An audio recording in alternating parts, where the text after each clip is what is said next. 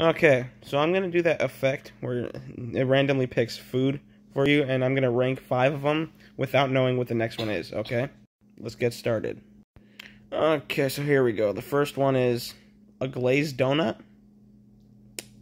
I'll put that at number two for now. I mean, no, I'm gonna have to keep it there. Whatever.